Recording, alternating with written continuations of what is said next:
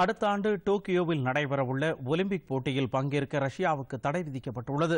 ரஷ்ய வீரர்கள் ஊக்கமருந்து சர்ச்சையில் சிக்கியதால் உலக ஊக்கமருந்து தடுப்பு ஆணையம் இந்த நடவடிக்கையை மேற்கொண்டுள்ளது.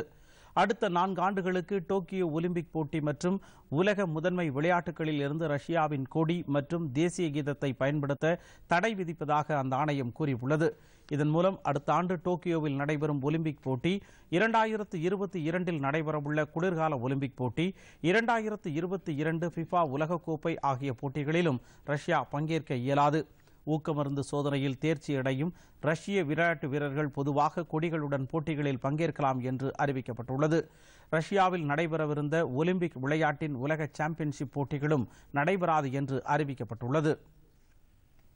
பொதிகை செய்திகளை யூடியூபில் தமிழ் நியூஸ் தூர்தர்ஷன் என்ற சேனலிலும் ட்விட்டரில் Tamil news Doordarshan at DD news Chennai என்ற பக்கத்திலும் காணலாம்.